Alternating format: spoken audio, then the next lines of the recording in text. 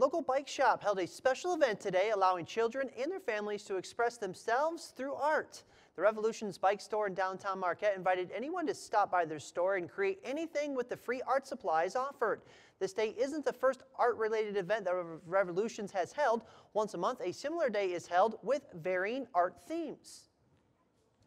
Free junk bike art day is um, a time where kids can come in and use our shop and um, we supply all the art supplies for them, like paints and construction paper and a few junk bike items like seats and handlebars.